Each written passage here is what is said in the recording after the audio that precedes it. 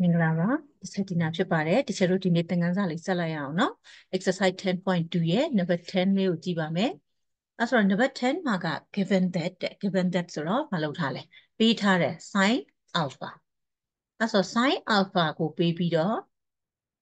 သူက0 degree နဲ့ alpha လေးရဲ့တန်ဖိုးက0နဲ့360ကြားမှာရှိရမယ်တဲ့နော်0ဖြစ်လို့ရတယ် equal ပါတယ်နော်ပြီးရင် cos beta လေးပေးထားတယ် သူကလည်းအတူတူပဲ0နဲ့360ကြားမှာရှိတယ်0 degree ဖြစ်လို့ရတယ်ပြီးရင် alpha နဲ့ beta ဟာတဲ့နော် down alpha နဲ့ down beta ဟာ are in the same quadrant same quadrant ဆို quadrant တူတယ်တဲ့နော်ပြီးရင် find နဲ့ရှာပါ without using table table ဆိုတာ log စရာမကြည့်ဘဲနဲ့တဲ့ the value of တန်ဖိုးအောက်မှာသူလေးပုတ်ပေးထားတယ်ဆိုတော့ဒီချက်ဒီမှာနှစ်ပုတ်ရေးထားတယ်ပေါ့နော်အဲဆိုရင်အရင်ဆုံး quadrant စဉ်းစားပါမယ် ဆိုတော့သူဆက်ဆချင်းပေးတဲ့ဟာကိုရေးမယ်ပေါ့နော်ဆက်ဆချင်းပေးတဲ့ဟာကိုရေးမယ်ဆိုတော့ပထမဆုံးသူက sin alpha ကိုဘယ်လောက်ပေးလဲဆိုတော့15 by 17ပေးတယ်ဒါဆိုရင် sin လက္ခဏာကိုကြည့်မယ်နော် sin ပါလဲအပေါင်း sin အပေါင်းဆိုဘယ် quadrant မှာရှိလဲ all sin then cos ဟုတ်လားဒါဆိုရင် all sin 10 cos လို့ပြောတဲ့အတွက် sin အပေါင်းဒီ all နဲ့ sin မှာရှိမှာမို့လို့ first quadrant နဲ့ second quadrant မှာရှိမယ်နော်အဲ့တော့အဲ့ဒါလေးအရင်ရေးမယ်ဆိုတော့ sin alpha ပေးတာဖြစ်တဲ့အတွက် alpha is in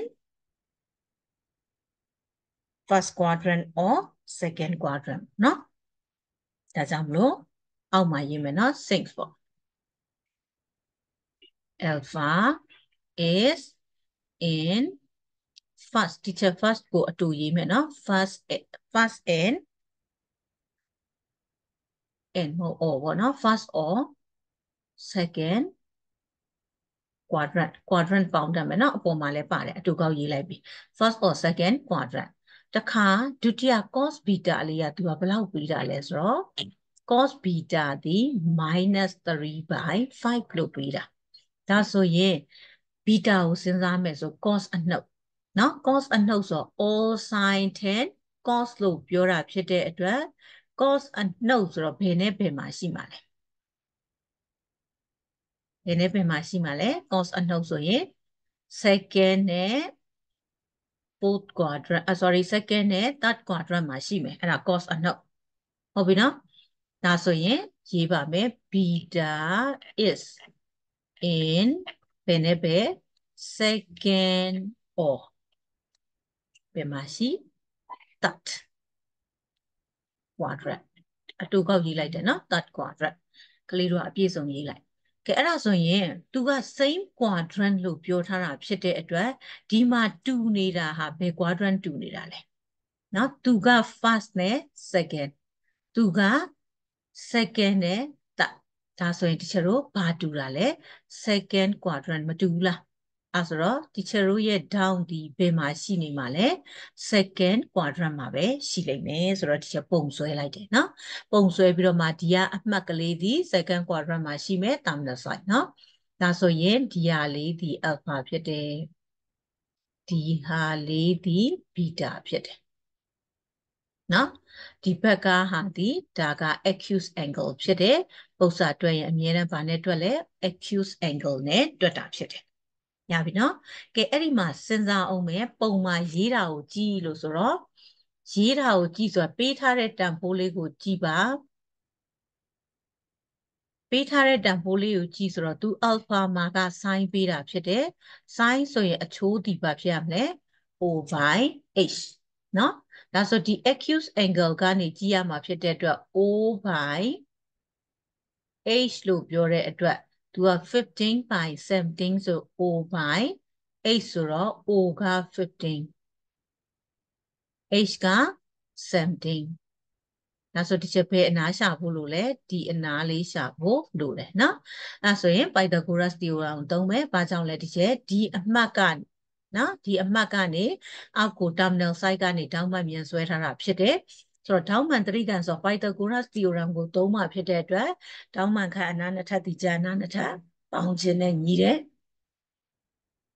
ဆိုတော့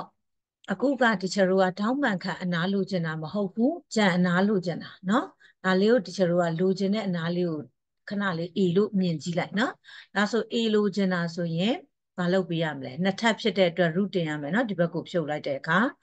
ဆိုတော့ထောင်းမှန်ခန့်အနားနှစ်ထပ်ထဲကကြံတနာနှစ်ထပ်ကိုနှုတ်ရမယ်เนาะနားလည်လားဒါဆိုရင်ဒီချို့အမှ18နှစ်ထပ်နဲ့15နှစ်ထပ်ကိုရှာရှာပြီးတော့မှနှုတ် square root ယူလိုက်တဲ့အခါမှာ8ရတယ်နော်ဒါဆိုရင် a နေရာလေးဒီ8ဖြစ်မယ်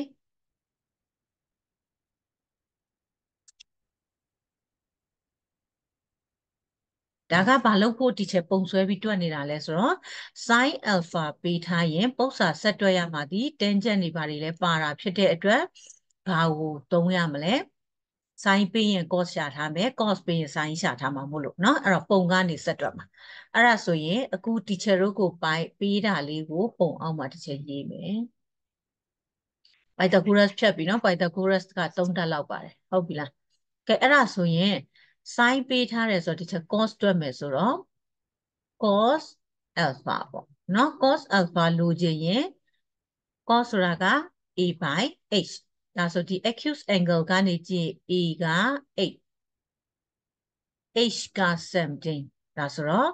8 by 17ဖြစ်မယ်နော် ဒါဆို second quadrant မှာဆိုရင် cos ကဘာဖြစ်ရမလဲအနှုတ်ဖြစ်ရမယ်ဒါကြောင့်မလို့ minus 8 by 17နားလည်လားအဲဆို cos alpha sin alpha နှစ်ခုတည်ပြီဆိုတော့ point လေးကိုရေးပါမယ်ဆိုတော့ x က minus 8နော်အနှုတ်ဖက်ရှိတာနော် y က50ဒါ2 point point ဒီ -8,15 မှာရှိမယ်အဲဆိုတော့ပုံရပြီလား ရပြီနော်ဒါ x ဝင်ရိုးဒါ y ဝင်ရိုးတည်ပြီးသားဖြစ်တယ်ဒါဆိုဒုတိယဘီတာကကြတော့ cos ပေးတာဖြစ်တဲ့အတွက် sin ရှာပြီနော် sin ရှာမယ်ဆိုတော့ तू ပေးထားတာဒီ3 by 5လို့ပေးထားတာဖြစ်တယ် cos ဖြစ်တဲ့အတွက်ဒီထောင်းကနေကြည့်ရင် a by h ပေးထားတာဖြစ်တယ်နော် a by h ပေးထားတာဖြစ်တဲ့အတွက် a က3 h က5 ဒါဆိုရင်မျက်နှာချင်းဆိုင်အနာဖြစ်တဲ့ O လေးကိုတွက်ရမှာဖြစ်တယ်နော်ဆိုတော့ခုနကလိုပဲ Pythagoras သုံးမှာဖြစ်တဲ့အတွက်ထောင်းမှန်ခန့်အနာနှစ်ထပ်ထဲကကြံကြံအနာရဲ့နှစ်ထပ်ကိုနှုတ်ရမှာ O လို့ကျဲနော် O ဆိုတာမျက်နှာချင်းဆိုင်အနာဒါဆိုထောင်းမှန်ခန့်အနာနှစ်ထပ်ဆိုတော့ square root of 5 square ပေါ့နော်5 square တွေက3 square ကိုနှုတ်မှာငါးငါးလီယာ25 33လီယာ6ဆိုတော့နှုတ်ပြီးရှာလိုက်တော့တချို့4ရတယ်နော်ဒါဆိုဒီမျက်နှာချင်းဆိုင်အနာလေးဒီ4 ရပြီလားကဲအဲ့ဒါဆိုရင်အခု तू က cos ပေးထားတာမို့ဒီချက်ပါရှာမလဲ sin ရှာရမှာဖြစ်တယ်နော် sin beta ရှာဒါဆို sin beta လိုချင်တယ်ဆို sin ဆိုရင် o by h o က4 h က5ဆိုတော့4 by 5ဒါဆိုပု္ပ္ပာတွက်ဖို့အတွက် sin နဲ့ cos ကိုရသွားပြီဖြစ်တယ်အဲ့တော့ဘာအရေးကြီးလဲဆိုတော့ဒီပုံလေးပါဖို့လိုတယ် alpha တွေ beta တွေရေးတာမှားလို့မရဘူးเนาะနားလည်ပြီနော် ကဲအဲ့ဒါဆိုရင်ပု္ပ္ပာဆက်တွက်တော့မယ်မေးတာတွက်တော့မယ်မေးတာဆိုတော့ပထမနံပါတ်1လေးဒီဘာမေးတာလဲ sin 2 alpha ဆိုတော့ခုနကလည်းပြောပြီးသွားပြီ formula ဒီ sin 2 alpha equal to 2 sin alpha cos alpha เนาะ sin 2 alpha equal to 2 sin alpha cos alpha ဆိုတော့ 2 sin alpha ဆိုတော့ပေးပြီးသားဖြစ်တဲ့15 by 17เนาะ into 15 by 17 cos alpha ဆိုတော့ minus ဝင်ခတ်မယ်เนาะ minus 8 by 17နားလည်လားကဲဟုတ်ပြီဒါလေးကိုကလေးတို့ဘာလုပ်လိုက်ရှင်းလိုက်ရင်အဖြေရမှာဖြစ်တယ်ဆိုတော့ -240 by 289 minus 240 by 289 point နဲ့ point နဲ့ဆိုရင်じゃ0.8304ရမယ်နော်အဲ့ဒါပြီးရင်ကိုဖကိုရှင်းကြည့်နော်ကိုဖကို calculator နှိပ်ကြည့်နောက်ဆိုနံပါတ်1ပြီးသွားပြီနံပါတ်2အသေးလေးဆိုတော့နံပါတ်2အသေးလေးတွေ့မယ်ဘာမေးတာလဲဆိုတော့ cos alpha by 2ဆိုတော့ formula ကြက်ထားတယ် half angle formula ဒီ cos ဆိုရင်ဗာလဲ လက္ခဏာအပေါင်းเนาะဒါကြောင့် plus or minus square root of 1 plus cos alpha by 2 sin ဆို minus cos ဆို plus เนาะဒါဆိုရင်ဒီချက်တို့ဘာလုပ်မလဲတန်ဖို့အစားသွင်းတော့မယ်ဆိုတော့ equal to plus or minus square root of 1 minus plus cos alpha. Cos alpha का minus 8 by 17. So plus ने minus और minus u में 8 by 17 by 2. By 2 the root है माना.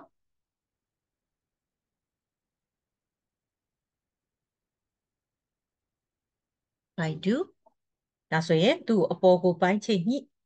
နော်ပိုင်းချိန်ညှိဆိုတော့16နဲ့ ရှင်းတော့မှာဆိုတော့9 by 17ဖြစ်မယ်9 by 17နဲ့အောက်က2နဲ့မြောက်မှာဆိုတော့34ပေါ့နော်အဲဆိုရင်ဘာဖြစ်သွားမလဲ plus or minus square root of 9 by 34နော်9 by 34ကဲအဲ့ဒါလေးကို root ကိုတစ်ခုစီယူမယ်ဆိုတော့9ကထုတ်လို့ရတယ်9ကထုတ်လို့တဲ့အရာတော့အပြင်ထုတ်လိုက်မယ်3နှစ်ထပ်မို့လို့ plus or minus 3ပေါ့ by root 34ကထုတ်လို့မရတဲ့အတွက် square root of 34အဲ့ဒီမှာ plus or minus ပါနေတာဖြစ်တဲ့အတွက်တချို့စဉ်းစားမယ် down the alpha ပေးထားတာဖြစ်တယ်နော် down ကပါပေးထားတာလဲသူကအစက alpha ပေးထားတာဖြစ်တယ်ဥစ္စာမှာမြင်လားနော်အဲ့တော့အခုကတချို့ကဘာလဲ alpha by 2အတွက်တွက်နေတာဖြစ်တဲ့အတွက်ဘယ်နဲ့ဘယ်ကြားမှာရှိမလဲဆိုတာလေးကိုစစ်ပေးရမှာဖြစ်လို့ ကဲဟုတ်ပြီအဲ့တော့တချို့ရဲ့ငကို alpha ဒီ second quadrant မှာရှိတာမလားနော်ဘယ်မှာရှိရလဲ second quadrant မှာ second quadrant ဆိုတာက90နဲ့ဘယ်ကြားမှာရှိရလဲ180ကြားထဲမှာရှိတာ alpha ကဒါကြောင့်မလို့0 oh sorry 90 90 less than နော်90 degree less than or equal alpha less than or equal 180နော်ဒါ alpha ကအဲ့ဒီမှာရှိတာအခုက alpha by 2လို့ပြောတဲ့အတွက်အားလုံးကို2နဲ့စားနော်ဒါဆို90ကို2နဲ့စားလိုက်တော့45 less than or equal alpha by 2 less than or equal 180ကိုလည်းဘာနဲ့စား2နဲ့စားလိုက်တော့ဘယ်လောက်ရောက်သွားလဲ90 degree ဒါဆို45နဲ့90ကြားဆိုဘယ် quadrant မှာဖြစ်သွားလဲ first quadrant မှာ alpha by 2ရှိမှာဖြစ်တဲ့အတွက် cos ဒီဘာဖြစ်ရမလဲအပေါင်းဖြစ်ရမယ် all အကွက်မှာရှိတာဖြစ်တယ်နော် all အကွက်မှာရှိတာဖြစ်တဲ့အတွက် therefore ပေါ့နော် cos alpha by 2က positive အပေါင်းကိန်းဖြစ်တယ်နော်ဒါဆိုရင်အပေါင်းအပေါင်းကိန်းဖြစ်တဲ့အတွက်အပေါ်ကအဖြေကိုတချို့တို့အပေါင်းပဲယူမယ်နော်ခုန plus or minus မှာဒါကြောင့်မလို့ cos alpha by 2ဒီခုနက plus or minus 3 by root 34ရတယ်ဆိုတော့ plus ပဲယူမှာမို့လို့3 by root 34ပိုင်းချိန်မှာ root ရှိတဲ့အတွက် rationalize လုပ်လိုက်တယ်အပေါ်ရောအောက်ရော root 34နဲ့မြောက်နော် root 34နဲ့မြောက်လိုက်တော့အဖြေက3 root 34 by 34ပေါ့နားလည်ရလားကဲဟုတ်ပြီအဲ့ဆိုနောက်နှစ်ပုတ်ကျန်တာဆက်ကြည့်မယ် ဆိုတော့ cos 2 beta မေးထားတယ်နော် cos 2 beta ဆိုတော့ double angle ဆိုတော့ cos က formula ဘယ်နှခုရှိရလဲ3ခုရှိတယ်နော်3ခုရှိတယ် cos square alpha minus sin square alpha 1 minus 2 sin square alpha 2 cos square alpha minus 1ကြိုက်တဲ့တစ်ခု3နော်ဘယ်တစ်ခု3 3ရတယ်အဲ့ဆိုတော့ဒီချက်ကဘာ3လိုက်မလဲဆိုတော့ number 3လေးက cos 2 beta ဆိုတဲ့အတွက် 2 cos square beta minus 1ကိုသုံးလိုက်မယ်နော်သုံးခုလုံးဘယ်ဟာသုံးသုံးရတယ်နော်အဖြေကတူတူပဲထွက်ဒါဆိုရင်2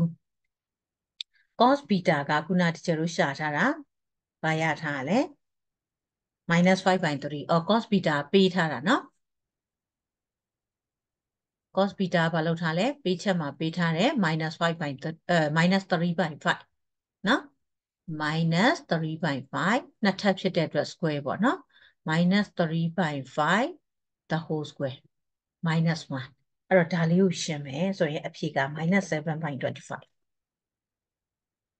minus 7 by 25ရမယ်နော် 33လီယာကို55လီယာ25เนาะအဲဆို2နဲ့ဝင်မြောက်လိုက်တော့9နဲ့4 16ဆိုတော့18 by 25 25နဲ့အဲ ပိုင်းချိညှိလိုက်တာဆိုတော့25ထဲကနှုတ်လိုက်เนาะအဲဆိုတော့ -7 by 25ရမယ်တခါနံပါတ်4လေးနံပါတ်4လေးကကျတော့ဗာလဲဆိုတော့ sin square beta by 2ဆိုတော့ sin beta by 2ကိုသုံးမှာပေါ့နော် sin beta by 2ဆိုတော့ဘာပါဘာလဲလဲ formula က plus or minus square root of sin ဆိုအနှုတ်လို့ပြောတဲ့အတွက်1 minus cos beta by တူနော်နှစ်ထပ်ဖြစ်တဲ့အတွက်သူ့ပေါ်မှာမှာ the whole square ဒါကမြင်ရင်တခါတည်းဖြုတ်လိုက်လို့ရတယ်နော်ဆိုတော့ the whole square လို့ပြောလိုက်ရင်တချို့တော့အပေါင်းပေါ်နှစ်ထပ်တင်ရင်အပေါင်းပဲအနှုတ်ပေါ်နှစ်ထပ်တင်ရင်အပေါင်းရတယ်ဒါကြောင့် plus or minus ပြုတ်သွားပြီ root ကနှစ်ထပ်တင်ရင် root ပြုတ်သွားတယ်ဒါဆိုတော့ဘာရသွားလဲ1 minus cos beta by 2ပေါ့နော်ဆိုတော့အစားသွင်းမယ်ဆိုရင် equal to 1 minus cos beta ဆိုတော့ခုနဒီမှာ cos beta ဘယ်လောက်လဲ -3 by